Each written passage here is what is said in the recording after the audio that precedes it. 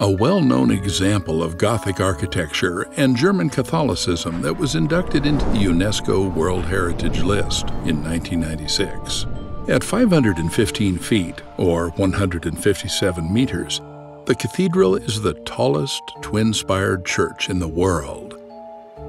And it features the second tallest spires and is the largest Gothic church in Northern Europe.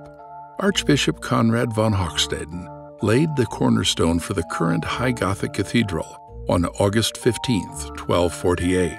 Although the Cologne Cathedral began to be built in 1248, it took more than 600 years to finish. Cathedral's design was directly inspired by the most cutting edge French structures, particularly the Sainte Chapelle and the Cathedral of Amiens.